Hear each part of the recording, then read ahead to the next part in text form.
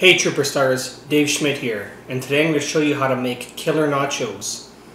Now I'm a bit of a perfectionist, so I also like to call these the perfect nachos.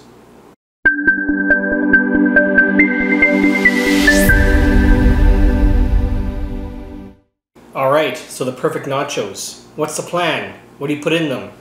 How do you make killer nachos? Well, I've learned over the years that uh, there's all kinds of things you can put into nachos but really it comes down to the technique. And it's very important that you follow this technique to the letter. So like I've said, there's all sorts of things you can put into nachos. Meat, peppers, better cheeses, uh, there's all kinds of stuff. So I'm going to link down below to a great cookbook that has all kinds of snack ideas and uh, I'll allow you to explore that yourself.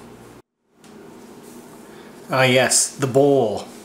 You certainly couldn't make a good bowl of nachos without a perfect bowl like this. Now, of course, you don't need this exact bowl, um, but a glass bowl or a ceramic bowl of some sort, in my opinion, is best.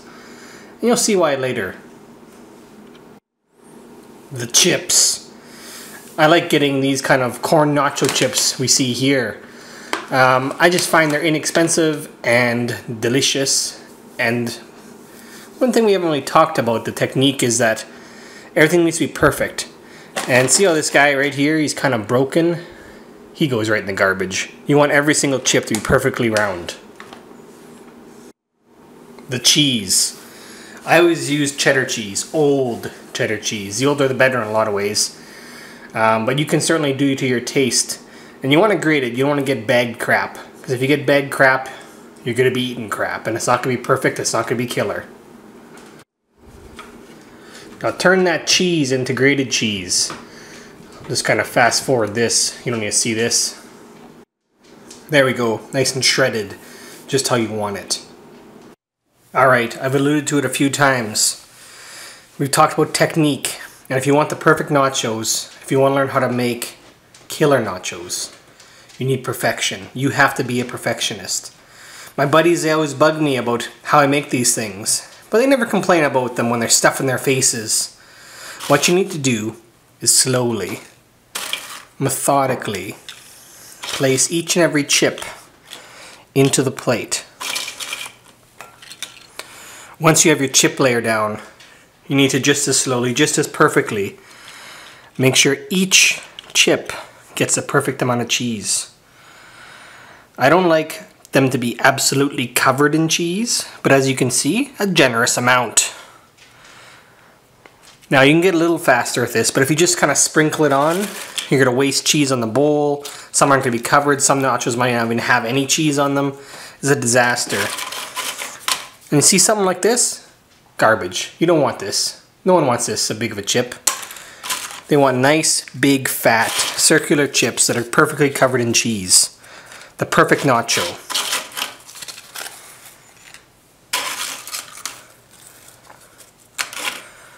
So there we go, another another nacho layer. Can be a little quicker this time, but it's important that each chip gets a good amount. Alright, now if you get a chip about this big, with a big hole in it, you can kind of use it to cover up in spots like that. You don't want too much less than this. This is even one that you might consider getting rid of if you have a lot of good chips. Now, you'll notice that I'm using just cheese. I'm not putting peppers or meat onions, tomatoes, jalapenos. You can certainly put those things. This is the technique for killer nachos. You need to do it perfectly. If you put those other things in, that's just fine, but you need to apply the same amount of care. You need to make sure that each chip has the perfect amount of those ingredients added on. Just to get it perfect. Now once you're done layering and you have nachos like this, these aren't nachos yet, they're just chips with cheese on them, albeit laid perfectly. What you need to do is microwave this. That might surprise some of you, but I found that it's quick, it melts the cheese, which is what you want, and there's not any chance of burning or singeing the chips. You could certainly cook it in the or in the oven rather, if that's what you like to do. And that would probably be better if you have other ingredients. But I find for just chips and nachos, the microwave works great. On my particular unit, it's 40 seconds on high, they come out perfectly.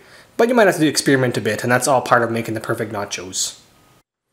There you go, perfectly melted, ready to dip in salsa or sour cream or guacamole, which is a whole separate video.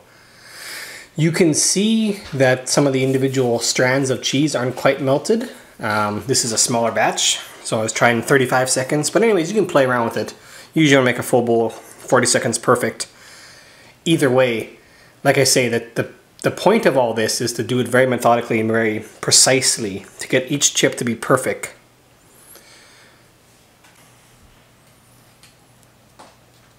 All right, everyone.